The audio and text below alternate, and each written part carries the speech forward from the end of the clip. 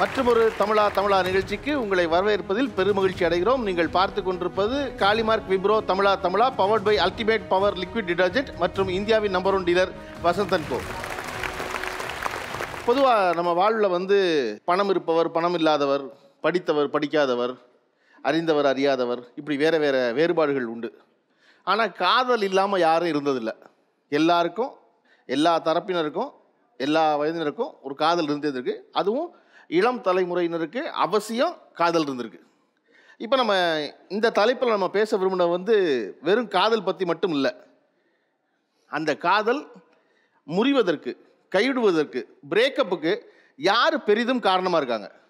ஆண்கள்னு பேசுவதற்கு பெண்களும் பெண்கள்னு பேசுவதற்கு ஆண்கள் ஒருத்தெல்லாம் வந்து காதலிக்கிறாங்க கல்யாணம் பண்ணிக்கிறாங்க. இவ்வளோ தான் இருக்கும். ஸ்டேஜ் காதலர்கள் அப்புறம் கல்யாணமானவர்கள். இப்போ அப்படி இல்லாமல் வேறு வேறு ஸ்டேஜ் நிறைய இருக்குது சிங்கிள் மொரட்டு சிங்கிள் இல்லையா? ஸ்லிங்கு லிவிங் டுகெதர் இல்லையா? இப்படி நிறைய வேறு வேறு வார்த்தைகளாக இருக்குது அந்த ரிலேஷன்ஷிப் டேர்ம்ஸ் என்னவெல்லாம் இருக்குது இப்போ? சிங்கிள் அதில் என்னவெல்லாம் சிங்கிள் இருக்குது சிங்கிள் மொரட்டு சிங்கிள்னு ரெண்டு இருக்கு சார் மொரட்டு மொரட்டு சிங்கிளுக்கு மொரட்டு சிங்கிள்னா அது அவங்களே எக்ஸ்பிளைன் பண்ணிக்கிறாங்க சார் ஏன்னா பொண்ணுங்களே எனக்கு இது பழக்கமே இல்லை. பேசி அவங்க கூட பேச பொண்ணு தொட்டா கூட இது மாதிரி பண்ணிட்டு போறாங்க. அந்த மாதிரி வீடியோஸ்லாம் கூட இப்போ நிறைய எடுத்து போடுறாங்க சார். யார் மொரட்டு சிங்கிள் யார் இப்போ இதில்? சார் மொரட்டு சிங்கிள். மொரட்டு சிங்கிளாக பொண்ணுங்களே பிடிக்காது. சார் அப்படி இல்லை சார். அப்படி கிடையாதா? அதுக்கு தான் கேட்குறேன் தெரியாம தான் கேட்குறேன் மொரட்டு சிங்கிள்லாம் என்ன? டெஃபினேஷன் என்ன அதுக்கு? மொரட்டு சிங்கிள்னா பாய்ஸ் ஸ்கூல்லே படிச்சு பாய்ஸ் ஸ்கூல்லே வளர்ந்து பாய்ஸ் காலேஜ்லேயே போய் பாய்ஸ் கம்பெனிலே தேடி போய் கெத்தார் தான் சார் மொரட்டு சிங்கிள். பாய்ஸ் ஸ்கூல்லே படித்து பாய்ஸ் காலேஜ்லேயே படித்து பாய்ஸ் ஆஃபீஸ்லேயே வேலை செஞ்சு பாய்ஸோடே இருக்கிறவன் வந்து அப்படி சொல்லிட்டு கடைசியில் கெத்தாக இருக்குதுங்க ஒரு வழி இல்லாமல் இருக்குது. மொரட்டு சிங்கிளை விட சீசனல் சிங்கல்னு ஒன்று இருக்கு. சீசனல் சிங்கிளா ஆமா. ஆ. நேத்து வரைக்கும் சிங்கிளா இருப்பான். திடீர்னு பார்த்தா அவன் பைக்ல பின்னாடி யாரோ இருப்பாங்க அவன் மட்டும் ஹெல்மெட்டை போட்டு சுத்திக்கிட்டு இருப்பான். சீசனுக்கு சீசன் மாத்திக்கிட்டே இருக்கானுங்க. அப்புறம் மறுபடியும் சிங்கிள் ஆயிடுவான் அவன். சிங்கிள் ஆயிடுறாங்க. அப்ப நானா என்ன பண்றது? ஓகே மொரட்டு சிங்கிளில் வந்து ஆண்கள் மட்டும்தான் இருக்காங்களா இல்லை பெண்கள் இருக்காங்களா? சார் அவங்களுக்கு சொல்கிற மாதிரி கேர்ள்ஸ்க்கும் மொரட்டு சிங்கிள் இருக்காங்க. இப்போது ஒரு பையன் பார்க்குறான் இல்லை ஒரு பையன் வந்து ப்ரப்போஸ் பண்ணுறதுக்கோ இல்லை சிம்டம்ஸ் தெரியும். கூட இருக்க ஃப்ரெண்ட்ஸுக்கு அந்த பொண்ணுக்கு தெரியும்னாலும் ஃப்ரெண்ட்ஸுக்கு தெரியும். அவங்க அந்த டைமில் என்ன தெரியுமா சொல்லுவாங்க? அந்த பையன் வந்து நேற்று சும்மா ஒரு எக்ஸாம்பிளுக்கு ஸ்வேதா கூட பார்த்தேன்டி. சரியில்லைன்னு நினைக்கிறேன். அந்த பொண்ணு மனசில் இன்டென்ஷன் இருந்தாலும் இல்லை அவ்வளோதான் முடிஞ்சிடும் அங்கே. ஓகே அவங்க கூட இருக்க ஃப்ரெண்ட்ஸே கண்டினியூஸாக அந்த பொண்ணு மொரட்டு சிங்கிளா அந்த பொண்ணு இல்லை. அவங்க சிங்கிளா இருக்க பொண்ணை தொடர்ந்து சிங்கிளா இருக்க வைப்பதற்காக தோழி செய்யற முயற்சி தான் முரட்டு சிங்கிள் அவ்வளோதான் இவன் தான் அதே தான் சார் பாய் சைடும் கீழே கொடுங்க. ஓ கமிட்டட் சிங்கிள்னு சொன்னாங்க. அது இல்லாம நடுவுல ஒண்ணு இருக்கு. அது ரிசர்வ் சிங்கிள் யாரும் சொல்லல. இல்ல. நம்ம இதை பத்தி இருக்கு நான் இந்த ஷோ முடியறதுக்குள்ள நான் நல்லா தெரிஞ்சுக்கிட்டோம்ல அதுக்காக சொல்றேன். சிங்கிள். அப்புறம் மொரட்டு single seasonal single Okay, single ஏ போயிட்டு இருக்கீங்களா? இப்போ நான் கமிட்டட் சிங்கிள் கமிட்டட் சிங்கிள் ஒண்ணு இருக்கு. அது வேற. இப்போ? ரிசர்வ்டுன்னு ஒண்ணு கொண்டு வந்திருக்காங்க. என்னன்னா ஆமா. ரிசர்வ்டு சிங்கிள் ரிசர்வ்டு ஆஹா சி- அதெல்லாம் அப்படி சொல்ல. மாட்டாங்க. என்ன மச்சி கமிட்டடா இல்லடி ரிசர்வ்ட் அப்படின்னா கமிட்டடு இப்போதைக்கு டீடைல்ஸ் மற்றபடி எதுவும் சொல்ல முடியாது. ஒன்ஸ் ரெண்டு பேரும் அதை வெளியில கன்வே பண்ணணும் அப்படின்னு இப்பெல்லாம் எல்லாரும் பிளான் பண்ணிக்கிறாங்க. கெரியர் இருக்கட்டும். துண்டை போட்டு வச்சிருக்காங்க. அதுதான். அதுதான் எக்ஸாக்ட்லி okay. அது மாதிரி ஒரு கான்செப்ட் அது ரிசர்வ்டு வேற என்ன வார்த்தைகள் இருக்கு? Sir living single Living. கூட இருக்காங்க சார் லிவின் நடந்தா அது எப்படி சிங்கிளா இருக்க முடியாது? புரியல. தனியா ஒத்த வீட்ல தனியா ஒத்தையால் வரல சார் அப்படிலாம் இல்லை சார் சார் அப்படி இல்லை சார் அப்படின்னா எப்படி சொல்லணும் வெளியில வந்து இருப்பா நான் ஏதாவது தெரிஞ்சுக்கலாம் நினைக்கிறேன் விட மாட்டேங்க போலுக்கு இப்ப. ஆக்சுவலாக வெளியே பார்க்க சிங்கிள் மாதிரி இருப்பாங்க. ஆக்சுவலாக அவங்க சிங்கிளாலாம் இருக்க மாட்டாங்க. ஆளுக்கு ஆல்ரெடி அவங்களுக்கு ஆள் இருக்கும். ஏன்? வீட்லயே கூட வச்சிருப்பாங்க. கல்யாணம் ஆன பசங்களா கூட இருப்பாங்க. ஆனா நான் சிங்கிள் நான் மொரட்டு சிங்கிள்னு சொல்லி சுத்திட்டு தெரிவாங்க. ஆனா அது ஒரிஜினல் கிடையாது அதுக்கு ஆக்சுவலா பேர் லிவின் சிங்கிளா லிவிங் டுகெதர்னு கூட சொல்ல முடியாது. லிவிங் டுகெதர்னா எல்லாருக்கும் தெரிஞ்சிருக்குது லிவிங் டுகெதர். அப்படியும் யாருக்கும் தெரியாம மறைமுகமா இருந்துட்டு நான் சிங்கிள் நான் சிங்கிள்னு சொல்லிட்டு இருக்க பசங்க நிறைய பேர் இருக்காங்க. இப்போ புதுசா ஃப்ரெண்ட்ஸ் வித் பெனிஃபிட்ஸ் அப்படின்னு ஒன்று இருக்கு. ஸோ பேசிக்கலி லவ்வும் இல்லை ஆனா சிங்கிளும் இல்லை ஆனா வெறும் ஃபிசிக்கல் Living மட்டும் ஆறுது லிவ் இன் இல்லை. வெறும் ஃப்ரெண்ட்ஸ் வித் வெறும் ஃபிசிக்கல் ஆறுது கிஸ். பண்றது அது மட்டும் வெறும் ஃப்ரெண்ட்ஸ் வித் பெனிஃபிட் ஓகே அது ஃப்ரெண்ட்ஸ் வித் பெனிஃபிட் வேற என்ன இருக்கு? ஆக்சுவலாக நான் சிங்கிள் கிடையாது. அந்த சிங்கிள்ன்ற அது கேட்டகரி மட்டும் சொல்கிறேன் ஸ்டேட்டஸ் சிங்கிள் ஸ்டேட்டஸ் சிங்கிளா ஃபோனில் வைக்கிற ஸ்டேட்டஸ் மட்டும் வெறும் சிங்கிள்ஸ் வைக்கிற ஸ்டேட்டஸாகவே இருக்கும்.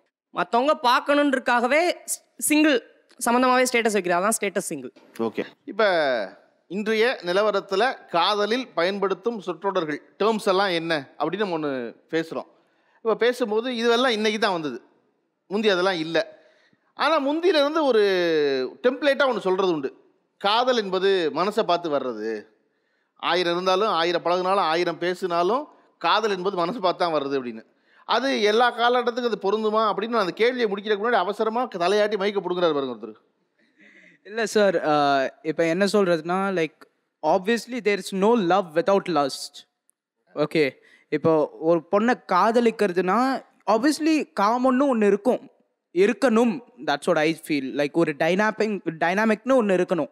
இல்லையா? அப்போது it's just ninety six Vijay Sethupathi மாதிரின்னு கூட சொல்லலாம்.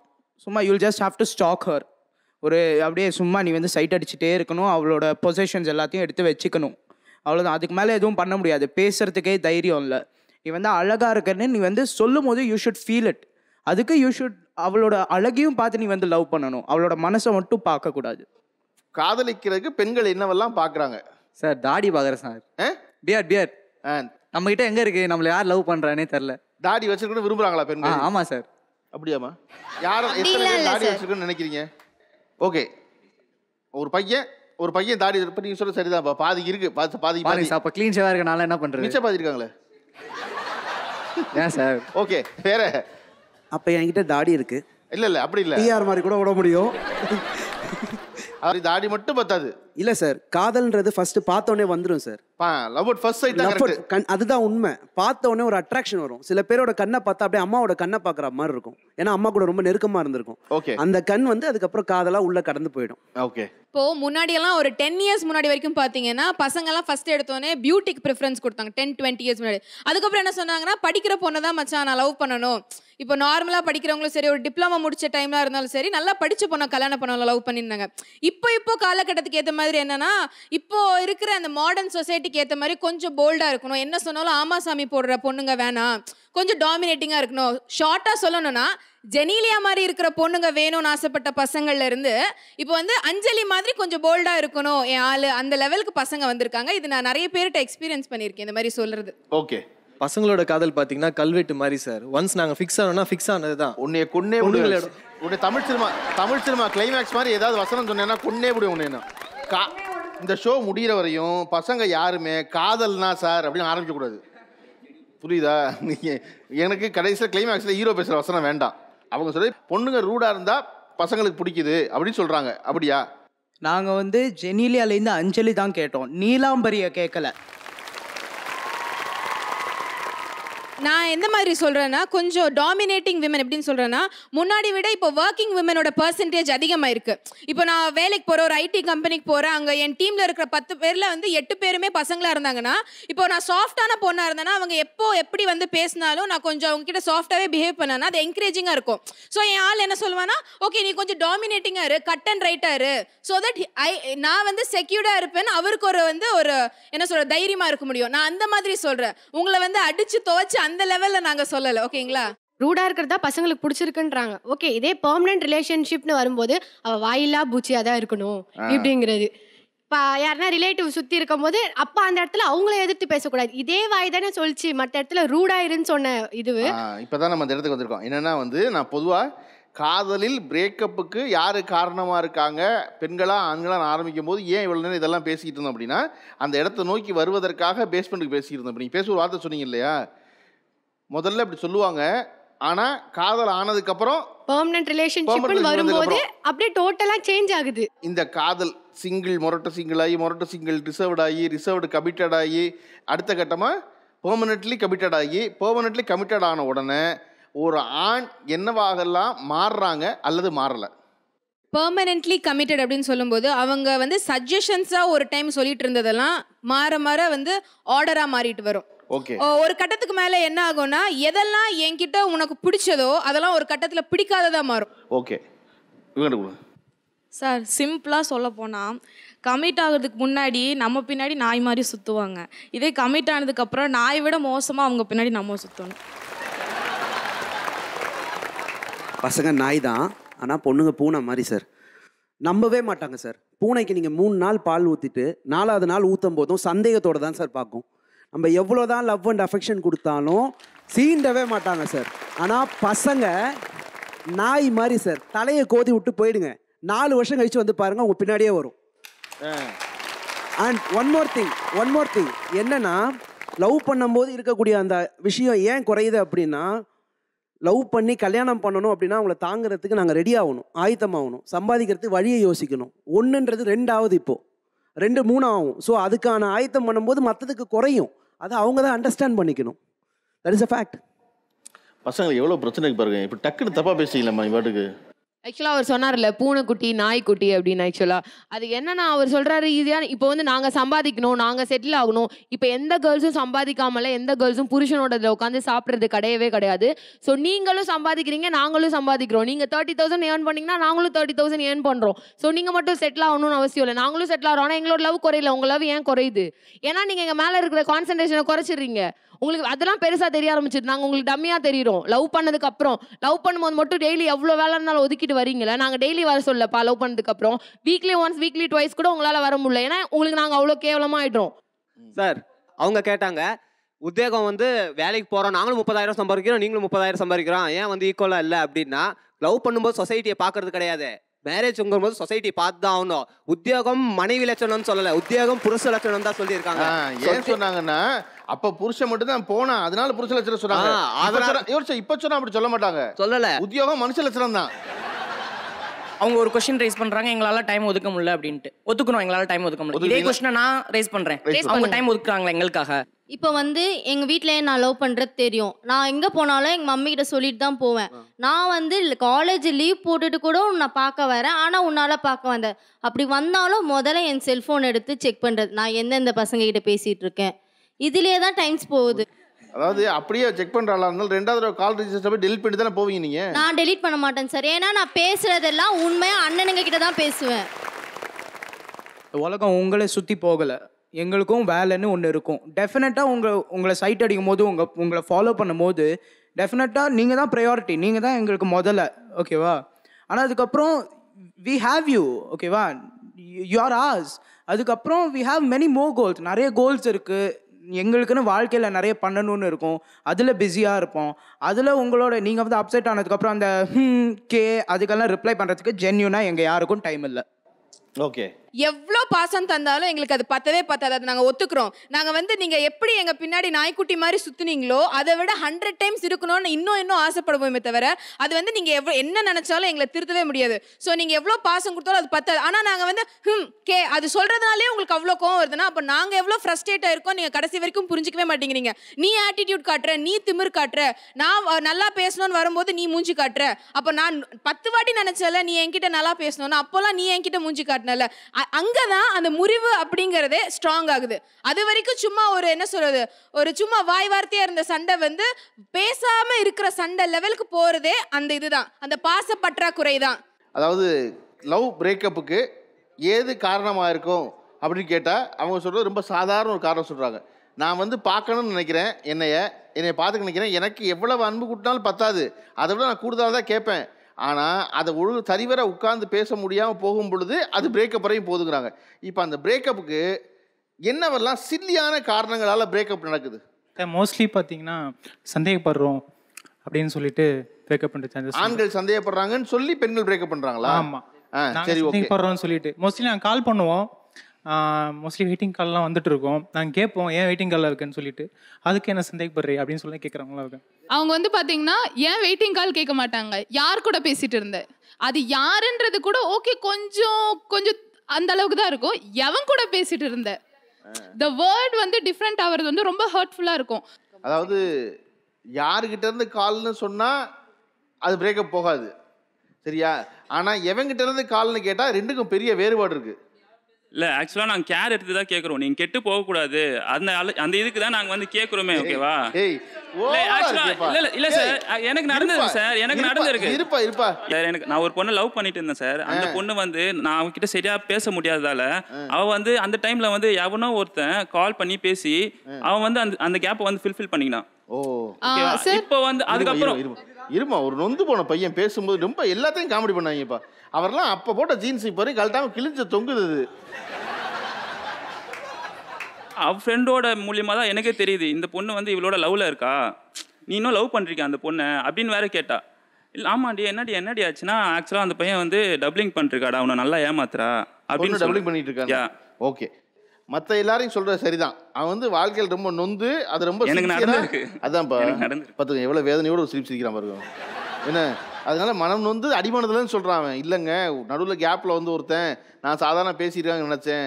நிஜமாவே வந்து அவ கடைசியில் டபுளிங் பண்ணியிருக்காங்கிற வார்த்தையெல்லாம் வேற இப்போ தெரிஞ்சுக்க வேண்டியிருக்கு நான் ஒரு பொருள் நமக்கு கிடைச்சிருச்சுன்னா அப்பப்போ அந்த பொருள் இருக்கா இருக்கான்னு பார்க்கணும். ஓகேவா நீங்க பார்க்காம விட்டீங்கன்னா அந்த பொருள் வேற யார் இத்தனை நாளா வந்து யூஸ் பண்றாங்கன்றது உங்களுக்கு தெரியாது. இல்ல. அவங்க இந்த டெசிஷனை அவங்க ஃப்ரெண்ட்ஸ் கிட்ட கேட்டு தெரிஞ்சுக்கிட்டாங்கன்னு அது இட்ஸ் டூ லேட் டைம் முடிஞ்சிருச்சு. ஃப்ரெண்டு சொல்லி தான் உங்கள் லவ்வர் என்ன பண்ணுறாங்கன்னே தெரியுதுன்னா அப்போது உங்கள் லவ் எந்த அளவுக்கு இருக்குது நீங்களே பார்த்துக்கோங்க. லவ் பிரேக்கப்புக்கு காரணம் ஆண்களா பெண்களான்னு பேசிக்கிட்டு இருக்கோம். தமிழகத்தில் இருப்போரும் வாக்களிக்கலாம். ஜி வலைத்தள பக்கங்களில் G Instagram G Facebook G ட்விட்டரில் ஒரு நேரலையான வாக்கெடுப்பு நடந்து கொண்டிருக்கிறது. உங்கள் வாக்குகளை அங்கே சென்று பதிவு செய்யலாம். ஒரே நேரத்தில் ரெண்டு காதல் மூணு காதல்னு செய்வது ஆண்கள் தான் செய்கிறாங்க அப்படின்னு ஏன் நினைக்கிறீங்க? ஆண்கள் தான் அதிகபட்சமாக இருக்காங்க. பெண்களில் ரொம்ப கம்மியாக தான் இருக்காங்க. ஏன்னா நாங்கள் ஈஸியாக அதில் வந்து மாட்டிப்போம். ரிஸ்க் எடுக்கிறதுக்கு நிஜமாக ரொம்ப பயப்படுவோம். எங்களால் அந்த எமோஷனை ஒரு எண்ட்லேருந்து முழுமையாக கிடைக்கணும்னு நினைப்போம். நீங்கள் நாலஞ்சு பேர்கிட்ட அது வரும்போது உதாரணத்துக்கு நீங்கள் ஒருத்தங்க கூட கமிட்டடாக இருப்பீங்க. ஆனால் நீங்கள் சொல்வீங்க மச்சான் அவ என்னோட ஸ்கூல் க்ரஷ் மச்சான். காலேஜ் க்ரஷ் இருக்கும் இல்ல? சும்மா எல்லாம் நாட் பண்ணாதீங்க ஓகேங்களா அது இருக்கும். பொண்ணுங்கள பாருங்களேன் சும்மா இப்போ கேர்ள்ஸ் எல்லாரும் சேர்ந்து காலேஜ் பொண்ணுங்கலாம் ஒரு ஈஏ மால் போறேன் ஏன் அந்த பையன் நல்லா இருக்கான்னு பாரு அப்படிமா ஏ போமச்சி என் என் என் ஆளை தவிர வேற யாரும் பார்க்க மாட்டான் அவன் இல்லன்னு இது தப்பு தெரிஞ்சோம் இது தப்பு. இது ரொம்ப இது ஒத்துக்கவே side முடியாது. அடிக்கிறதுல நான் சொல்றேன். இது ஒத்துக்க முடியாது. பொண்ணுங்க நூத்துல பத்து. தான். சான்ஸ்லெஸ் இது. என்னம்மா ஒரு வார்த்தையா கூட ஒத்துக்க தயாரா இருக்க மாட்டேங்கிறான் இல்ல? ஒத்துக்கவே முடியாது. இல்ல அதுதான் நான் இந்த நிகழ்ச்சி ஆரம்பிச்சு இவர்கள் எல்லாரும் ஒரு குரல்ல வந்து சத்தம் போட்டது இப்ப மட்டும்தான். ட்ரிகர் பண்ணி சொல்லுப்பா. இப்போ நான் உண்மையாக வந்து ஒரு ட்ரக்ஸை அடிமை ஆயிட்டேன்னு வச்சுக்கலாம் நான் அந்த சரக்கு தான் அடிப்பேன். இப்போ நூற்றஞ்சு ரூபா சரக்கு வச்சா நூற்றஞ்சு ரூபா சரக்கு தான் அடிப்பேன். காஸ்ட்லியான சரக்கு வச்சா காஸ்ட்லியாக தான் அடிப்பேன். பட் வந்து பொண்ணுங்க அப்படி இல்லை. ஒவ்வொரு பிராண்டாக மாற்றின்னு தான் போவாங்க. இதோட இது அடிச்சா டேஸ்ட்டாக இருக்கும். இதோட இது அடிச்சா டேஸ்ட்டாக இருக்கும்னு மாற்றின்னு தான் போவாங்க. பொண்ணுங்களோட சைக்காலஜி இதாங்க. மாற்றிட்டு மாற்றிட்டு மாற்றிட்டு லாஸ்ட்டில் எங்கேயோ போய் ஏமாத்துறது. சைக்காலஜி சொல்றீங்களா? நான் சொல்றேன். ட்ரஸ்ட் தான் முக்கியமான நீங்க தாடி வச்சுக்கோங்க அழகா இருங்க அசிங்கமா இருங்க காசு பணம் எல்லாம் வச்சுக்கோங்க. ட்ரஸ்ட்னு ஒன்று நம்பி சொல்லுங்க. எத்தனை பொண்ணுங்க கமிட் ஆகிட்டு வெளியில சொல்ல முடியாமல் இருக்காங்க தெரியுங்களா உங்களுக்கு? ஏன் இல்லை? ஏன் சொல்றது ஏன்னா நீங்கள் அந்த நம்பிக்கை கொடுக்குற நாளைக்கே இவனை விட்டு போயிட்டானா நான் இப்போ என் ஃப்ரெண்ட்ஸ்கிட்ட பத்து பேர்கிட்ட ரிலேட்டிவ்ஸ்கிட்ட பத்து பேர்கிட்ட சொல்லியிருப்பேன். இவன் தான் என் ஆள் இவனை தான் நான் லவ் பண்ணுறேன் இவனை தான் நான் கல்யாணம் பண்ணிப்பேன் நான் சொல்லியிருப்பேன். ஆனால் நாளைக்கே நீங்கள் என்னை விட்டு போயிட்டீங்கன்னா இவங்க இருபது முப்பது பேருக்கும் நான் ஏன் பதில் சொல்லணும்?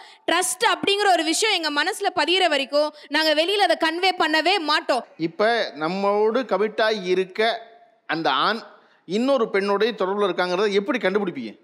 இப்போ எனக்கு ஹாய் செலோன்னு மெசேஜ் அமிச்சா அது வந்து ஹாய் பேபி நெக்ஸ்ட் ரிப்ளை பண்ணுவார். ரிப்ளை வந்து உடனே வராது. கேட்டால் நெட் ஸ்லோ நெட்ஒர்க் ஸ்லோ அது வந்து டூ த்ரீ டேஸ் கழிச்சு நான் அவனை வந்து மீட் பண்ணுறேன் மீட் பண்ணிவிட்டு சும்மா ஃபோட்டோ சென்ட் பண்ணலான்ட்டு ஃபோன் எடுக்கும் போது ஒரு நேம் வந்தது. ஜஸ்ட் யாரா இது நியூ கான்டாக்ட் உள்ளே போய் பார்த்தா அதே ஹாய் செலும் அதே ஹாய் பேபி அங்கேயே போயிருக்கு. நீங்க தான் முதல்ல சொன்னீங்க போன உடனே ஆண் மொபைலை வாங்கி செக் பண்ணுவான். பேரலாம் அப்படின்னு. இப்ப கடைசியில பார்த்தா நான் நீங்க தான் வந்து பண்ணிருக்கீங்க just அதை photos. இல்ல இல்ல கேக்குறேன் இல்ல நான் கேக்குறேன். நான் வந்து செக் பண்ணணும் பாயிண்ட் ஆஃப் வியூல நானும் அவனும்? போட்டோ நீங்க எடுத்தது. பார்த்தா செக் பண்ணணும்னு பார்க்கல போட்டோ பார்க்கறக்கா பார்த்தீங்க. அது அவன் பண்ணா மட்டும் செக் பண்றதுக்காக தான் பார்த்தானா? இப்போ அவங்க சொல்றாங்கல்ல இந்த மாதிரி வந்து பல காதல் இருக்கவங்கள இப்படிலாம் கண்டுபிடிப்போம்னு சொல்றாங்க. அதே போல பெண்கள் இருப்பதை எப்படி கண்டுபிடிப்பீங்க? பொண்ணுங்க வந்து எப்படி கண்டுபிடிக்கிறது அப்படின்னா நான் லவ் பண்ணிட்டு இருந்தேன். அந்த பொண்ணு பண்ணிட்டு இருந்துச்சு. நல்லா தான் போயிட்டு இருந்துச்சு. ஏன் அவள் வந்து திடீர்னு அவாய்ட் பண்ண ஆரம்பிச்சா? என்ன ஏதுன்னு பார்த்தா அவங்க ஃப்ரெண்ட்ஸுங்களை காக்கா பிடிக்க ஆரம்பிச்சா. ஃப்ரெண்ட்ஸுங்களை பிடிச்சிட்டு அவங்கள பார்த்து நாம் இவ்வளோ சின்சியராக இருக்கோன்னு அவங்க ஃப்ரெண்ட்ஸுங்களை ஒருத்தங்க தோணி அண்ணா பாருங்கண்ணா நீங்கள் இவ்வளோ சின்சியராக பண்ணிட்டு இருக்கீங்க. அவள் இப்படி பண்ணலை. அப்படின்னு என்னம்மா இப்படி சொல்கிறா உடனே கோபம் தான் வந்துச்சு தவிர அவன் மேலே சந்தேகம் வரல. டீப்பாக விசாரிச்ச தான் தெரிஞ்சு இந்த மாதிரி அவன் மாமாவையும் லவ் பண்ணிட்டு உன்னையும் லவ் பண்ணிட்டு இருக்கானா? அப்படின்னு நான் பழனிக்கு மாலை போகிறான் அவன் கல்யாணத்துக்கு அவன் மாலை போடுறாங்க போயிட்டு வந்து அவளுக்கு கிஃப்ட் வாங்கின்னு வரேன் நானு. கல்யாணம் ஆகி போயிட்டா? சொல்ற எப்படி இருக்கும்? பொண்ணுங்க லவ் பண்றாங்க. அவங்களுக்கு வந்து மேல் பெஸ்டி இருப்பாங்க கண்டிப்பா. லவ்வர் வந்து பாய் பெஸ்ட் மாதிரி தெரியும் பாய் பெஸ்டி வந்து லவ்வர் மாதிரி தெரியும் சப்போஸ் அந்த பொண்ணு வந்து அந்த பையன் கூட போயிட்டு வச்சுன்னா நான் கேள்வி கேட்பேன். ஏன் அப்படி போயிட்டு வராது? யாரானு கேட்பேன். அப்படி கேட்டல எனக்கு தான் பிரேக்கப் சரிங்களா? அந்த பொண்ணு தான் பிரேக்கப் பண்ணும். அதே மாதிரி நான் ஒரு பொண்ணு கூட பைக்ல மாதிரி போயிட்டு இருந்தா கூட நீனே அந்த பொண்ணு கூட போற. உன்னை பிரேக்கப் அந்த உரிமை இப்போ அவங்ககிட்ட தான் இருக்கும். ஆமா பிரேக்கப் பண்ண பண்ண உரிமை அதிகமா first- அதிகமா பொண்ணு தான் வச்சிருப்பாங்க. பிரேக்கப் வந்து நான் இது கண்டிப்பா சொல்லி ஆகணும் ஒருவேளை அவங்க ரெண்டாவது பொண்ணை லவ் பண்ண ஆரம்பிச்சிட்டாங்கன்னா எப்படி அது அதோட அந்த ஸ்ட்ராட்டஜியை நாங்கள் எப்படி கழட்டி விடுற ஸ்ட்ராட்டஜி எப்படின்னா எது பண்ணாலும் நோ நான் கேர்ள்ஸோட தான் சேர்ந்து என் ஃப்ரெண்டுக்கு நடந்து என் கேர்ள்ஸோட சேர்ந்து நாங்கள் மூவி போக போகிற நாள். நோ நீ போனனா நான் ஜென்மத்துக்கு உங்ககிட்ட பேச மாட்டேன். அப்போ வந்து என்னன்னா அது ஒரு பாயிண்ட் இப்போ வந்து சாக்கு வந்து என் மேல இருக்கக்கூடாது இல்லையா? அது வந்து தப்பு உன் மேல இருக்கணும். நான் அன்னைக்கே சொன்னேன் நீ அந்த படத்துக்கு உன் ஃப்ரெண்ட்ஸோட போகாத. நீ போனா அதை நான் பிரேக்கப் பண்ண. அதாவது இது வந்து ஒன் ஆஃப் த எக்ஸாம்பிள் எப்படியெல்லாம் சாக்கு கிடைக்கும் அப்படின்ட்டு தேடி தேடி தேடி பார்த்து எப்படியாவது இவளை கழட்டி விட்டுரும் நான் தப்பு நம்ம மேல இருக்கும். சேஃப் செட் கோல் போடுறது ஹண்ட்ரட் பர்சன்ட் பசங்க தான். ஆண்கள் என்ன காரணங்கள் சொல்லி பிரேக்கப் பண்றாங்க? ரெண்டே விஷயம் என் லைஃப்பில் நடந்ததே தான். நான் வந்து ஒரு பட்டிமன்ற பேச்சாளர். நான் லவ் பண்ணும்போது அவருக்கு அது ரொம்ப பிடிச்சிது. கெத்தா சொல்லிக்கிறது என்னோட ஒய்ஃப் வந்து இந்த மாதிரி ஒரு பட்டிமன்ற பேச்சாளர் அப்படின்னு சொல்லிட்டு ஒரு நாலு பட்டிமன்றத்துக்கு அவரை நான் கூட்டு போயிருந்தேன். அங்கே வந்து பசங்க சகஜமாக பேசுவாங்க.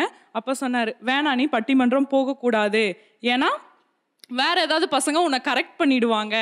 அப்போ நான் கேட்டேன் என் மேலே வச்சிருக்க நம்பிக்கை இவ்வளோதானா? அப்படின்னு கேட்டேன். அப்படி இல்லை உன் மேலே நம்பிக்கை இருக்கு பசங்க மேலே எனக்கு நம்பிக்கை இல்லை. அப்போ நான் சொன்ன ஒரே வார்த்தை சார் இதுக்கப்புறம் நான் பட்டிமன்றம் போக மாட்டேன் அப்படின்னு சொல்லி ரெண்டு வருஷம் நான் பட்டிமன்றம் போகலை சார் அவருக்காக. ரெண்டு வருஷம் நான் அந்த ஃபீல்டே விட்டு விலகிட்டேன். இன்னைக்கு அவர் இன்னொரு பொண்ணை பார்த்து கல்யாணம் பண்ணிட்டு போயிட்டாரு அவர் லைஃப் செட்டில். அவர் கல்யாணம் ஆச்சுன்னே எனக்கு தெரியாது. அதுதான் அங்கே பெரிய விஷயம். நாங்கள் லவ் பண்ணது எதுக்கு? எங்களோட சுக துக்கங்களை ஷேர் பண்ணிக்கிறதுக்கு தான் மற்றபடி நீங்கள் எங்களுக்கு செலவு பண்ணுவீங்களோ? மத்தி கூட்டிகிட்டு போய் சுற்றி காமிப்பீங்களோங்கிறதுக்காகலாம் லவ் கிடையவே கிடையாது. எங்கள் அப்பாவுக்கு அடுத்து நாங்கள் உங்களை நேசிக்கிறோம். உங்களுக்கு வந்து வந்து லவ் எப்படின்னா ஒரு பார்ட் உங்கள் லைஃப்பில் ஒரு பார்ட் அப்படி மட்டும்தான் இருக்குது பட் எங்களுக்கு அப்படி கிடையாது. எங்களுக்கு லைஃப் ஃபுல்லாக நீங்களாக தெரியுறீங்க. அதனால தான் நீங்கள் சொல்கிற ஒவ்வொரு விஷயமும் எங்கள் மனசில் அவ்வளோ பதியுது. நீங்கள் செய்கிற ஒவ்வொரு விஷயமும் எங்களுக்கு அவ்வளோ பிடிக்குது. ரசிச்சு அவங்க சொன்ன மாதிரி தான் ரசித்து ரசித்து உங்களை நாங்கள் காதலிக்கும் போது நீங்கள் ஒரு விஷயம் அதை மாற்றி பண்ணினாலும் அது எங்களுக்கு ரொம்ப வலிக்குது. காதல் முறிவுக்கு காரணம் ஆண்களா பெண்களா என்று நாம் அரங்கத்தில் பேசிக் கொண்டிருக்கிறோம். தமிழகத்தில் இருப்போரும் வாக்களிக்கலாம். ஜி வலைத்தள பக்கங்களில் G Instagram G Facebook G ட்விட்டரில் ஒரு நேரலையான வாக்கெடுப்பு நடந்து கொண்டிருக்கிறது. உங்கள் வாக்குகளை அங்கே சென்று பதிவு செய்யலாம். லவ் பிரேக்கப்புக்கு காரணம் ஆண்களா பெண்களா என்று பேசிக்கொண்டிருக்கும் இந்த வேளையில் ஒரு நெகிழ்ச்சியாக எதிர்பாராத விதமாக அவங்க வந்து இப்படி ஒன்று நடந்துச்சு. இதை நான் வந்து பகிர்ந்து கொள்வதற்காகத்தான் இங்கே வந்திருக்கேன் அப்படின்னு அவங்க சொல்லிட்டு இருந்தாங்க. இப்போ அந்த இடத்துலேருந்து இதை கொஞ்சம் இன்னும் கொஞ்சம் எளிதாக லகுவாக லைட்டாக பேசுவதற்காக ஒன்று சொல்ல வைக்கிறேன் என்ன காதலை வந்து ப்ரப்போஸ் பண்ணுறது ஒரு சுவாரஸ்யமாக க்ரியேட்டிவாக யார் பண்ணுறான்னு நினைக்கிறீங்க? அல்லது எப்படி க்ரியேட்டிவாக பண்ணலாம்னு நினைக்கிறீங்க? சார் ஆக்சுவலி நான் எனக்கு தெரிஞ்சு க்ரியேட்டிவாக தான் பண்ண நினைக்கிறேன். ஏன்னா அவங்க பர்த்டேக்கு வந்து சும்மா ஒரு சர்ப்ரைஸ் மாதிரி கேக் கட்டிங் எல்லாம் பண்ணோம். அதுக்கப்புறமா நான் ப்ரப்போஸ் பண்ணது போலீஸ் ஸ்டேஷனில் நீங்கள் ப்ரப்போஸ் பண்ண போலீஸ் ஸ்டேஷன்லையா ஆமா. எப்படி? அது ஆக்சுவலி அந்த டைம் வரைக்கும் அவங்க நான் ஃப்ரெண்டு ஃப்ரெண்டுன்னு தான் சொல்லிட்டு இருந்தேன். அதுக்கப்புறமா யாரும் அந்த ஏரியாவில் இருக்கிற பசங்க யாரும் அவங்கள பார்த்து முறைச்சாங்கன்னு சொல்லி நான் சண்டை போட்டு ஸ்ட்ரெயிட்டாக போலீஸ் ஸ்டேஷன் போனோம். அவங்க கேட்டாங்க இவங்க யாரும்மா அவங்களுக்கு நீங்கள் எதுக்கு சண்டை போட்டீங்கன்னு கேட்டேன். நான் லவ் பண்ணுற பையன் சார்னு அப்போ எங்கள் அம்மாவும் வந்தாங்க. எங்கள் அம்மா இன்னும் சூப்பர் எங்கள் என் என் வீட்டு ஐ மீன் என் பொண்ணை கல்யாணம் பண்ணிக்க போகிற பையன் சார் அவங்க. அதனால தான் என் பொண்ணு ரியாக்ட் பண்ணான்னு சொல்லிட்டு அப்போ எங்கள் பையன்- அம்மா ஓகே சொல்லிட்டு அந்த பையன் என்னன்னாரு அவரு பிளாங்காக தான் நின்று இருந்தார். ஏன்னா அந்த டைம்ல அவர் வேற ஒரு பொண்ணு கூட்டு இருந்தாரு. எனக்கு வேற வழி இல்லை அதனால தான் அப்போ சொல்லிட்டேன். குடும்பமாக உட்காந்து திட்டம் போட்டு போயிருக்கீங்க போலீஸ் ஸ்டேஷனுக்கு அது லைட்டா அப்படிதான். லைட்டாக அப்படி ஓகே ஒன்று முக்கியமாக சொல்லணும் ரொம்ப அழகாக ப்ரப்போஸ் பண்ணுறது பசங்க தான். பொண்ணுங்க வந்து ப்ரப்போஸ் பண்ண வைப்போம் உங்களை. உங்களுக்கு கன்வே பண்ண முடியலனாலும் உங்ககிட்ட இருந்து அதை வர வைப்போம். அந்த டெக்னிக் ஸ்ட்ராட்டஜி எல்லாம் எங்ககிட்ட எங்ககிட்ட நீங்க தான் அழகா பண்ணுவீங்க நான் சொல்லிட்டேன்ல. அது கூட சில பேர் தயங்கினாலும் நாங்க உங்களை வந்து ப்ரொப்போஸ் பண்ண வைப்போம். இன்னொன்று என்னன்னா அந்த லெட்டர் எழுதுற பழக்கம்லாம் சுத்தமா போயிருச்சு. இப்போ எனக்கு டுவெண்ட்டி ஒன் இயர்ஸ் ஆகுது. சுத்தமாக அந்த லெட்டர் எனக்கெல்லாம் அது அந்த மாதிரி என் ஃப்ரெண்ட்ஸ்க்கெல்லாம் எதுவுமே நடந்து தெரியல. இனிமே யாராவது கிரியேட்டிவாக பண்ணணும்னு நினைச்சீங்கன்னா இது ஒரு ஹிண்ட் மாதிரி கொடுக்குறேன். இந்த லெட்டர் எழுதுறது ஹிண்ட்ஸ் எழுதுறது சும்மா அந்த மாதிரி jo- எழுதி கொடுங்க. WhatsApp message. இல்லாம கார்டு கார்டு வந்து ஹேண்ட் ரிட்டன் நான் சொல்றேன். அதான். கார்ட்ஸ் இருக்கு இன்னும். ஹேண்ட் ரிட்டன் நோட்ஸ் வந்து இப்போ யாரும் பண்றது இல்ல ஸ்வீட் பண்ணி- ஆமா. ஓகே ராயல் என்ஃபீல்ட் பைக்ல வந்து ராயலா ப்ரப்போஸ் பண்ணா ரொம்ப பிடிக்கும். ஓகே இல்ல. இல்ல யாருமே இல்லாம ஹைட்டா இருக்கிறதுல டாப்பான பில்டிங்ல போய் ஓகே சொல்லலாம் கீழே தள்ளி விட்டுருவேன்ற நிலைமையில. இருங்கப்பா அந்த பொண்ணு கண்ணமெல்லாம் சவந்துருச்சு. இல்ல ஓகே சொல்லலாம் கீழே தள்ளி விட்டுருவேன்ற நிலைமையில எதுவுமே ஹைட்டா இருக்கிற இடத்துல போய் ப்ரப்போஸ் பண்ணும். அப்படி இல்லையா? நடு கடல்ல ஸ்விம்மிங் கூட்டு போறேன்னு சொல்லிட்டு நடு கடல்ல ப்ரப்போஸ் பண்ணும். நான் எதிர்பார்க்காத மாதிரி நான் திடீர்னு போயிட்டே இருக்கும்போது கழுத்துல கத்தி வச்சு ஐ லவ் யூ சொன்னா சாவ வச்சிருவேன். அதே மாதிரி ஒன்று ப்ரப்போஸ் பண்ணி அவன் ஒத்துக்கலைன்னா அவனை தள்ளி விட்டுறணும்.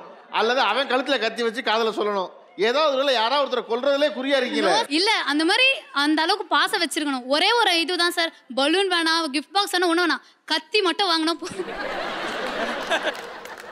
நான் வந்து ஒரு இது பண்ணேன் சார் போயம்ஸ் வந்து ஹண்ட்ரட் பேஜுக்கு அவங்கள பற்றி நானே எழுதி நூறு நான்- பக்கத்துக்கா? நான்- ஒரு காப்பியம்ல எழுதிருக்கீங்க. நான் எழுதினேன் சார் ஆனால் கடைசியில் அவங்க என்ன விட்டு போயாச்சு சார் சின்ன வயசுல நம்ம ஏதாவது ஒரு பொருளை ஆசைப்பட்டிருப்போம். அதை வந்து நம்ம அம்மா அப்பா வாங்கி கொடுக்காம இருந்திருப்பாங்க. அதை மாதிரி அவங்களுக்கும் ஒன்று இருக்கும். அது என்னன்னு கேட்டு தெரிஞ்சுட்டு அந்த பொருளை நான் வாங்கிட்டு போகணும். நடு ரோட்டில் யாருமே இருக்கக்கூடாது. அவர் கையை பிடிச்சி சொல்லவும் கூடாது. ஆனால் அதை அவர் புரிஞ்சுக்கணும். அந்த அளவுக்கு என்னோட கண்ணிலே காதல் தெரியிற மாதிரி. வார்த்தையா- வார்த்தையா சொல்லாம தெரியணும். எனக்கு தெரிஞ்சு வந்து இதுவரை நீங்கள் சொன்ன ப்ரப்போசல்கள்ல ஆண்கள் தரப்புலேருந்து வெகுவாக கைதட்டு வாங்கின ப்ரப்போசல் இதான் நினைக்கிறேன். நீங்கள் ஆண்கள் எந்த வகையில் காதலை பெண்கள் உங்களிடம் சொல்லணும்னு நினைக்கிறீங்க? அல்லது நீங்கள் எப்படி சொல்லணும்னு நினைக்கிறீங்க? நான் எப்படி ப்ரப்போஸ் பண்ணேன்னா முதல்ல என் ஃப்ரெண்ட்ஸாக அவளை கூட்டிகிட்டு வர சொன்னேன். அங்கே இங்கேன்னு ஒரு செக் பாயிண்ட் மாதிரி வச்சுருந்தோம். என்னோட ஃப்ரெண்ட்ஷிப் எங்கள் ஃப்ரெண்ட்ஷிப்பில் ஒரு ஒரு மைல் ஸ்டோன் மாதிரி இருந்துச்சு இந்த இந்த டேட்னு அதெல்லாம் வாட்ஸ்அப் சேட்லலாம் போய் ரிசர்ச் பண்ணி அதை எடுத்து வச்சு அவனுங்களுக்குன்னு டயலாக் எடுத்து வச்சு அவங்கள மனப்பாடம் பண்ணி வச்சு ஒரு ஒரு செக் பாயிண்டில் அவங்க ஒன்று ஒன்று சொல்லுவாங்க.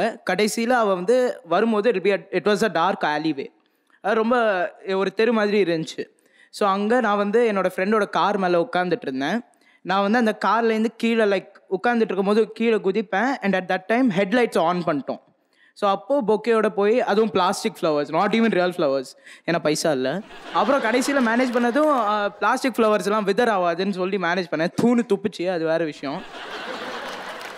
எனக்கு வந்து ப்ரப்போஸ் வந்து பண்ணாங்க. நான் சொன்ன ஆடியோ அந்த பக்கம் சொல்லிட்டாங்க ஆக்சுவலி போலீஸ் ஸ்டேஷனில் வச்சு ப்ரப்போஸ் பண்ணாங்க எனக்கு. ஓ அந்த போலீஸ் ஸ்டேஷன் நீங்க அதுதான். ஸோ நான் ஆக்சுவலி எதிர்பார்க்கவே இல்லை. ஸோ எனக்கு எப்படி இருக்கணும் அப்படின்னா எனக்கு வந்து லைக் நார்மலாக வந்து ஒரு பொண்ணு வந்து ஒரு பையனை ஒரு பேஷனட்டாக ஹக் பண்ணிட்டு லவ் பண்ணுன்னு சொன்னால் அந்த பொண்ணு கண்ணில் தெரியும். போலீஸ் ஸ்டேஷன்ல சொல்ல வேண்டாம். இல்ல அது சொல்லி அது வந்து போலீஸ் ஸ்டேஷன்ல வந்து நான் சொன்னேன். அது எனக்கு பிடிச்ச மாதிரி. அவருக்கு பிடிச்ச மாதிரி ஆல்ரெடி ஒரு பொண்ணு சொல்லிச்சு. அதனால தான் நான் போலீஸ் ஸ்டேஷன்ல சொன்னேன். லவ் ப்ரப்போஸ் பண்ணுறதை விட எக்ஸ்பிரஸ் பண்ணுறது நல்லா இருக்கும். எக்ஸ்பிரஸ் பண்ணி காட்டலாமா? ஆக்ட் பண்ணி. ஏன் வாங்க வாங்க.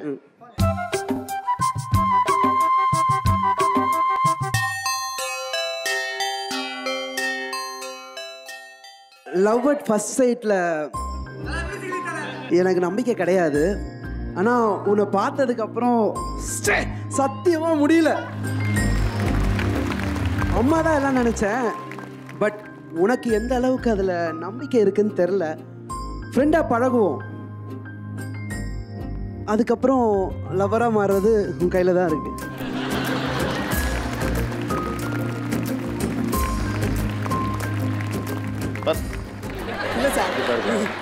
பரவாயில்லையா? பையன் தேர்வானா? வாய்ப்பில்லை ராஜா. நீ அன்லக்கிம்மா உன் தலையெழுத்து. வேற இடம் வேற இடம். இந்த நேரத்தில் நம்ம சிறப்பு விருந்தினர் கூப்பிட வந்து ரொம்ப பொருத்தமாக இருக்கும்னு நினைக்கிறேன். நம்முடைய கலந்து கொள்ள தொண்ணூற்றி ஆறு படத்தின் பாடலாசிரியர் திரு கார்த்திக் நேதா அவர்கள் வந்திருக்கிறார்கள்.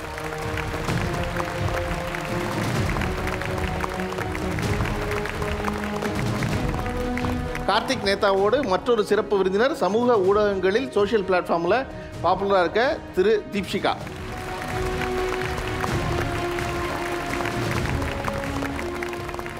லவ் பிரேக்கப்புக்கு வந்து ஒரு முக்கிய காரணம் சந்தேகம் இல்லையா? அதை பொசசிவ்னஸ்னு அவங்க சொல்கிறாங்க இல்லை சந்தேகம் தான் ஆண்கள் சொல்கிறாங்க பெண்கள் எந்த வகைகளில் மிக சிறிய காரியங்களுக்கு சந்தேகப்பட்டு காதலை கைவிடுறாங்க? சின்ன வயசுலேருந்து நான் பழகின என்னோட ஃப்ரெண்டு கூட இப்போ வந்து வந்து என்னோட லவ்வர் வந்து என் கூட பேசும்போது அவ கூட நான் எப்பயும் போல தான் இருக்கிறதுனால பார்க்கறது வந்து அவளுக்கு தப்பாக தெரியுது.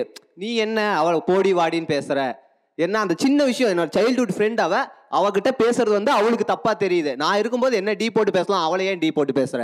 சில உரிமைகளை வந்து விட்டு கொடுக்க முடியாதுங்க. நாங்க வந்து அதை தான் சொல்றோம். எங்களுக்கு பெரிய விஷயமா தெரியுது உங்களுக்கு ரொம்ப அல்ப சின்ன விஷயமா தெரியுது. அந்த சின்ன சின்ன எங்களுக்கு மட்டுமே உண்டான அந்த சந்தோஷங்களை நீங்க நாங்க சொல்றோம் அப்படின்னா அந்த ஒரு விஷயத்தை எங்களுக்காக விட்டு கொடுத்தா என்ன? நாங்க எத்தனையோ விஷயத்தை உங்களுக்காக விட்டு கொடுக்குறோம்ல இப்போ என்னோட சைல்ட்ஹுட் ஃப்ரெண்டுங்கிறவ எனக்கு தங்கச்சி மாதிரியே வச்சுக்கோங்க. என் தங்கச்சியை நான் போடி வாடி சொல்லக்கூடாதா? அது அம்மாவாவே இருந்தாலும் லவ்வர்னு வரும்போது ப்ரையாரிட்டி பார்ப்பாங்க. நீ ஏன் எனக்கு ப்ரையாரிட்டி தரல? அந்த இடத்துல ஒரு மிஸ் அண்டர்ஸ்டாண்டிங் வரும். ஓகே ஒரு ஆண் எந்த மாதிரி சின்ன சின்ன விஷயங்களுக்கு சந்தேகப்படுறாங்கன்னு நினைக்கிறீங்க? சார் இப்போ பார்த்தா வாட்ஸ்அப் யூஸ் பண்ணுறோம் எல்லாருமே. நம்ம வந்து லாஸ்ட் சீன் காட்டும் பார்த்தீங்களா? நம்ம எத்தனை மணிக்கு வாட்ஸ்அப்லேருந்து வெளியே போயிருக்கோம். அது இப்போ இப் அப்போ சொல்ல போனால் அது ஒன்று தான் அது ஒன்றுலேருந்து சின்ன விஷயம் தான் அது. நீ எப்படி டுவெல் தேர்ட்டீனுக்கு கரெக்டாக வெளியே போயிருக்க? இப்போ அது வரைக்கும் நீ யாரு கூட பேசிட்டு இருந்த? அந்த லாஸ்ட் சீனை ஹைட் பண்ணி வச்சிடலாம் தெரியும்ல? ஹைட் பண்ணாதான் சார் சண்டே ஹைட் பண்ணா எதுக்கு ஹைட் பண்றீங்கன்னு ஹைட் பண்ண. அப்போ நீ வந்து நான் பார்க்க கூடாதுங்கிறதுக்காக ஹைட் பண்ணி வச்சிருக்க. அப்போ நீ யார்கிட்ட பேசுற? அதுதான் சார் சண்டை. சிம்பிளான விஷயம். சந்தேகம். இந்த மாதிரி.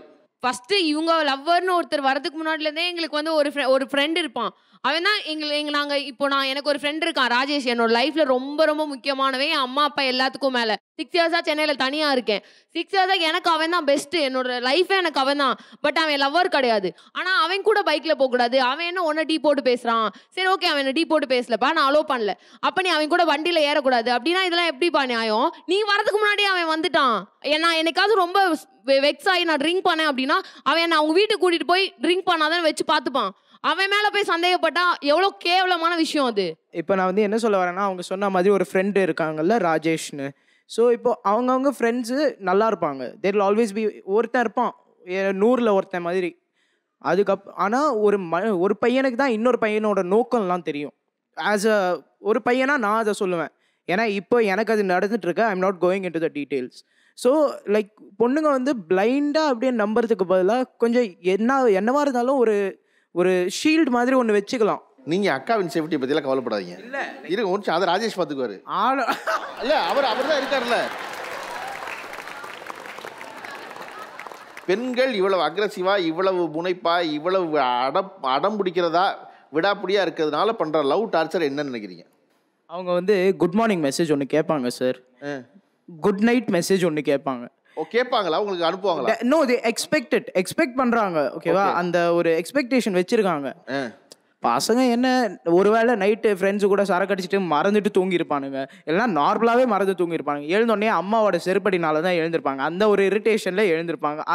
அந்த சுச்சுவேஷனில் ஒரு குட் மார்னிங் மெசேஜ் அது அதுவும் குட் மார்னிங் பியூ beautiful good morning sweet heart அதெல்லாம் அந்த நேரத்தில் கெட்ட வார்த்தையாக தான் வரும். ஸ்வீட் ஹார்ட்னு வராது வேற மாதிரி வரும். டார்ச்சர் ஆகுது. அது. டெஃபினட்டாக ஒரு டார்ச்சராக தான் இருக்கும். சார் நாங்க வந்து ஒரு டே ஸ்டார்ட் ஆகுறது வந்து அவங்க கிட்ட இருந்து ஸ்டார்ட் ஆகணும். ஒரு டே எண்ட் ஆகுறது அவங்க கிட்ட இருந்து எண்ட் ஆகணும்ன்ற அந்த லவ்னால தான் நாங்க கேக்குறோமே தவிர அந்த அவங்க சொன்னாங்களே சரக்கு அடிச்சுட்டு மட்டை ஆயிடுவோன்ட்டு அதெல்லாம் பண்ணக்கூடாது. நீ கரெக்டாக வீட்டுக்கு படுத்து தூங்கும்போது எனக்கு மெசேஜ் பண்ணிட்டு படுன்றது தான் அந்த நோக்கமே. காலையில் எழுந்திருக்கும் போது எழுந்திருச்சியா இல்லையா?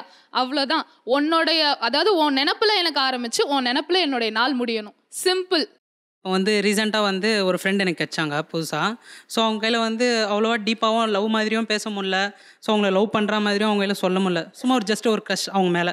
மார்னிங் எழுந்தவொடனே நான் வந்து குட் மார்னிங் தான் சொல்ல முடியும். நான் அப்புறம் நெக்ஸ்ட்டு வந்து நெக்ஸ்ட் மெசேஜ் என்ன இருக்குன்னா என்ன சாப்பிட்டேன். அதான். அவனுக்கு இதுதான் பிடிக்குமா? என்ன ஸ்பெஷல் இதுதான் அவள் வந்து ஒரு நாள் அவள் எந்த மூட் அப்செட்டில் இருக்கா சொல்ல ஜஸ்ட் அவன் தான் இதெல்லாம் ஒரு மெசேஜா இதெல்லாம் இப்படி தான் பேசுவாங்களா? ஸோ எப்படிங்க மெசேஜ்னு திரும்பி நான் ரிப்ளை பண்ணேன். அதுக்கு அவங்க சொன்ன பதில் வந்து ஃப்ரீயாக இருந்தால் புக்ஸ் படிங்க. இல்லைனா வந்து ஃப்ரீ டைமை வந்து அன்யூஸ்ஃபுல்லாக பண்ணாதீங்க சொன்னான். அது எதுக்கு சொல்றாங்கன்னா உங்களை அவங்க அவாய்ட் பண்றாங்க. சிம்பிள் இது நீங்க க்ரஷ்ஷா இருக்கீங்க க்ரஷோடே நிறுத்திக்கோங்க ப்ரப்போஸ் பண்ணி மனசு கஷ்டப்படுத்திக்காதீங்க. அதை அவங்க இன்டைரக்டா சொல்றாங்க. Please take it in positive way ஆனால் அதே நெக்ஸ்ட் டே வந்து நான் ஹாப்பி மார்னிங்னு சொன்னோன்னா அவங்களும் ஸ்வீட் மார்னிங்னு சொல்கிறாங்க வேற வழி இல்ல விடல நீங்க. காதலை கைவிட்டதற்கு காதல் முறிந்ததற்கு ஆண்கள் காரணம் என்று பெண்களும் பெண்கள் காரணம் என்று ஆண்களும் சொல்லியிருந்தாங்க. சொல்லுங்கள் கார்த்திக் நேதா இந்த காதல் முறிவுக்கும் காதல் பிரேக்கப்புக்கும் யார் காரணமாக இருக்காங்கன்னு நினைக்கிறீங்க? ஆண் பெண் இவங்க ரெண்டு பேரையுமே தாண்டி இந்த சமூகத்தோட ஒரு இரையாக தான் ஒரு காதலனும் இருக்கா ஒரு காதலியும் இருக்காங்க. லவ் பண்ணும்போது ஒரு செயினை போட்டுக்கிட்டு நல்லா கடுக்கனை போட்டுக்கிட்டு பேண்ட் கெட்டில் கிழிஞ்சு போட்டுக்கிட்டு இப்படி சுற்றுற ஒரு பையனை ரொம்ப ஆழமாக ரொம்ப நேசிக்கிற ஒரு பெண் நண்பர் சொன்ன மாதிரி இந்த கல்யாண பந்தம்னு வரும்போது இப்படியெல்லாம் இருக்கக்கூடாது. சடனாக அவனை மாற சொல்கிற ஒரு போக்கு பெண்கள் மத்தியில் இருக்குது அதே மாதிரி லவ் பண்ணும்போது ரொம்ப அனிச்சையாக முத்தம் கொடுத்துக்கிற ஒரு பெண்ணை நடக்கக்கூடிய எல்லா விஷயமும் நடக்கிற ஒரு பெண்ணை கல்யாணத்துக்கு பிறகு அந்த மாதிரியான ஒரு ஜோவியெல்லாம் இருக்கக்கூடாதுன்னு எதிர்பார்க்குற பசங்களும் இருக்கும். இது முழுக்க முழுக்க மன ஆழத்தை சம்மந்தப்பட்ட ஒரு பிரச்சனை.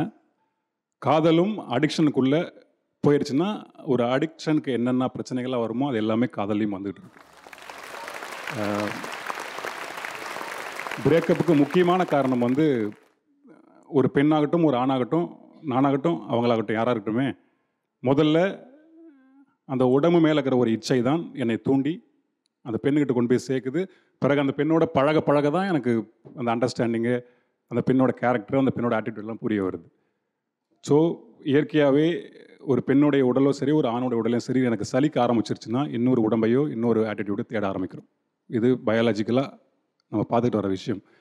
இது எல்லாத்தையும் தவிடு ஆக்கிட்டு கட்டி தூக்கி நிறுத்துறது இந்த பிரேக்கப் எல்லாம் தாண்டி கொண்டு வரதுங்கிறது வந்து மியூச்சுவல் அண்டர்ஸ்டாண்டிங் தான். அடி ஆழத்தில் என்னுடைய ஈகோவை தூக்கி எறிஞ்சிட்டு என்னுடைய கோவத்தை தூக்கி எறிஞ்சிட்டு என்னுடைய தனிப்பட்ட அபிப்பிராயங்களை தூக்கி எறிஞ்சிட்டு ஒரு நிர்வாண ரீதியாக நம்ம பார்க்கும்போது தான் இந்த காதல் இந்த பிரேக்கப்புக்கான பிரச்சனைகள்லாம் ஓயும். அவ்வளோதான் எனக்கு சொல்ல தோணுது. ஓகே கிரேட் தீப்ஷிகா கார்த்திகேயன் வந்து ரொம்ப மெச்சூர்டாக அவருடைய அனுபவங்களை சேர்த்தோன்னு சொல்கிறாரு நீங்கள் என்ன நினைக்கிறீங்க இதை பற்றி என்னை பொறுத்த வரைக்கும் பிரேக்கப்க்கான மேஜர் ரீசன் வந்துட்டு டெக்கிட்ட ரிலேஷன்ஷிப் ஒரு பாய் ஒரு கேர்ளில் யார் வந்துட்டு உன்னை விட்டால் எனக்கு வேற ஒரு பொண்ணு கிடைப்பா? உன்னை விட்டால் எனக்கு வேற ஒரு பையன் கிடைப்பான் அப்படின்னு ஒரு தாட் எப்போ அவங்களுக்குள்ளே வருதோ அப்போ தான் அவங்களுக்கு அந்த பிரேக்கப்ன்ற ஒரு தைரியமே வரும்.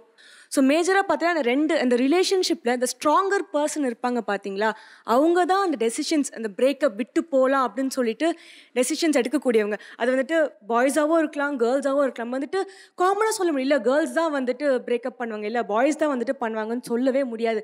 ஆனால் நீங்கள் இந்த கான்வர்சேஷனில் நான் ஒன்றே ஒன்று மட்டும் கவனிச்சேன். ஃப்ரெண்ட்ஸ் பற்றி நிறைய வந்துச்சு. இவங்களுக்கு ஃபீமேல் ஃப்ரெண்ட்ஸ் இருக்குது. இவங்களுக்கு கொஞ்சம் ப்ராப்ளமாக இருந்துச்சு. உங்களுக்கு மேல் ஃப்ரெண்ட்ஸ் இருக்குது. உங்களுக்கு கொஞ்சம் ப்ராப்ளமாக இருந்துச்சு. நானும் ஒத்துக்கிறேன். எல்லா ரிலேஷன்ஷிப்பில் இருக்கிற வெரி காமன் ப்ராப்ளம் அது ஒன்று மட்டும்தான் எனக்கு ஒரு சின்ன ஒரு கேள்வி மட்டும் கேட்டுக்கிறேன். நம்ம லவ் பண்ணுறதுக்கான ரீசன் என்ன? At last to get married to that person இல்லையா? ஸோ இப்போ வந்துட்டு நான் அவங்களை கல்யாணம் பண்ணிக்கும் போது he's going to be my world is going to be my everything அந்த ஒரு நேரத்தில் why can't you sacrifice that friend for that பர்சன்றது என்னோட பர்சனல் கொஸ்டின் அதாவது இது வந்து பொதுவாக அவங்கள பெண்களை சொல்லலாம். ரெண்டு பேருக்கு பொதுவாக தான் சொல்கிறாங்க ஆனாலும் கூட இந்த நிகழ்ச்சியில் ரொம்ப குறிப்பாக அந்த நட்பை பற்றி சொன்னது நீங்கள் தான் இப்போ எனக்கு அவங்க சொன்னது நல்லா புரிஞ்சுது. ஆக்சுவலாக உண்மையாக சொல்லணும்னா அவன் இல்லைன்னா நான் இப்போ உயிரோடவே இருக்க மாட்டேன் அப்படின்ற அளவுக்கு அவன் என்னோட ஃப்ரெண்டு இப்போ ஒருத்தன் வந்துட்டான் அப்படின்றதுக்காக நான் அவனை அவாய்ட் பண்ணேன்னா நான் அதை விட கேவலம் நான் கேவலமானவள் ஆயிடுவேன்.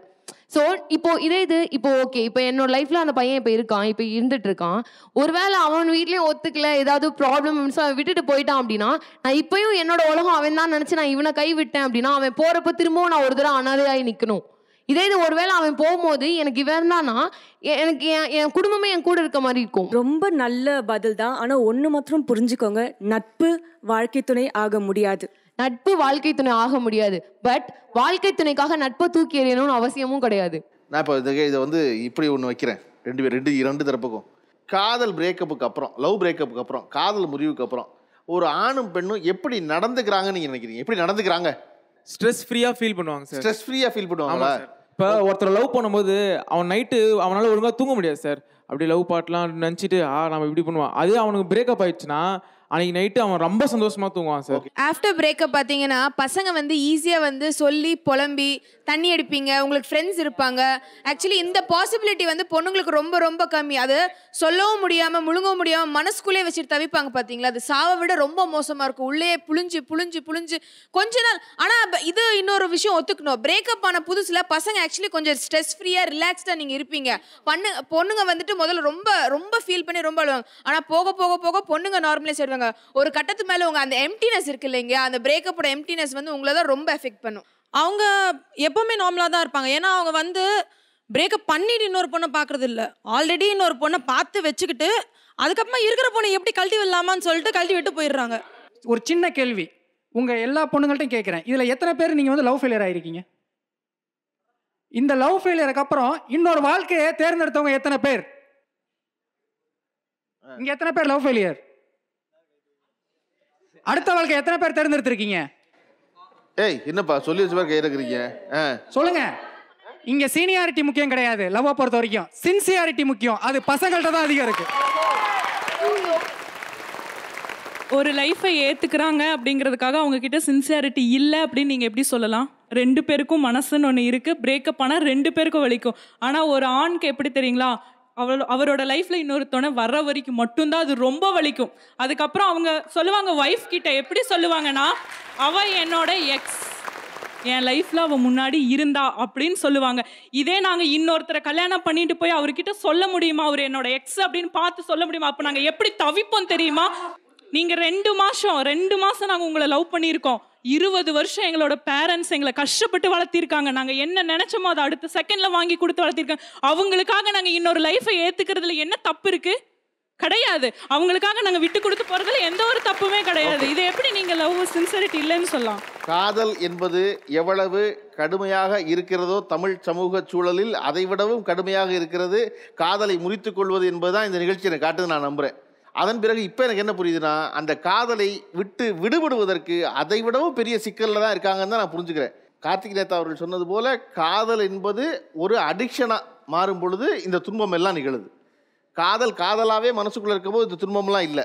காதல் என்பது வந்து போயிடுச்சுன்னா ஒரு குழப்பமும் இல்லை. மீண்டும் இன்னொரு காதல் வந்துடணும்னு முதல்ல இந்த தலைமுறை புரிஞ்சுக்கிட்டுருங்க அது ஒன்றும் கட்டாயம் கிடையாது. சரியா? அது ஒன்றும் கற்பு கிடையாது. ஒரு முறைதான் காதல் என்பது தமிழர் பண்பாடு தான் ஆனால் அடுத்த வரி தான் ரொம்ப முக்கியம். அந்த ஒன்று எது என்பது தான் கேள்வி இப்போது. இல்லையா? அந்த ஒன்று எது? அதை நோக்கி நம்ம போகணும்ல.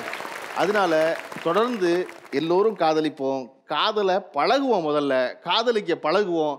காதலை பரப்புவோம். காரணம் பழகுனா தானே இன்னொரு சொல்லிக் கொடுக்க முடியும். நான் நல்லா பைக்கோட்ட பழகுனா தான் இன்னொரு பைக்கோட சொல்லிக் கொடுக்க முடியும். நானே பழகலைன்னா இன்னொரு சொல்லிக் கொடுக்க முடியாது. அப்போ இந்த காதலை அடுத்தவருக்கு பரப்பணும்னா பரவணும்னா முதல்ல நம்ம பழகணும். எல்லோரும் காதலை பழகுவோம். லவ் பிரேக்கப்புக்கு காரணம் ஆண்களா பெண்களான்னு ஜி வலைத்தள பக்கங்களில் நேரலையாக ஒரு வாக்கெடுப்பு நடந்து முடிந்தது. அந்த வாக்கெடுப்பின் முடிவுகள் இப்பொழுது. காதல் முறிவிற்கு காரணம் ஆண்களா பெண்களா என்ற தலைப்பில் சில கேள்விகளுக்கு ஜி தமிழ் சமூக வலைதளங்களில் கடந்த இருபத்தி நான்கு மணி நேரங்களாக நடைபெற்ற வாக்கெடுப்பில் பெரும்பாலானோர் தங்களது கருத்தை தெரிவித்துள்ளனர். அதன் முடிவுகள் நேரலையாக. அதில் அதிக எண்ணிக்கையில் முரட்டு சிங்கிளாக இருப்பது யார் என்ற கேள்விக்கு ஆண்கள் என்று எண்பத்தி ஆறு சதவிகிதம் பேரும் பெண்கள் என்று பதினான்கு சதவிகிதம் பேரும் வாக்களித்துள்ளனர்.